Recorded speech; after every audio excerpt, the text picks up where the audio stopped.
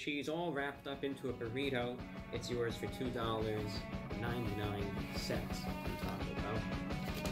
I don't even know why they call it the rattlesnake, rattlesnake, rattlesnake burrito. I really don't know.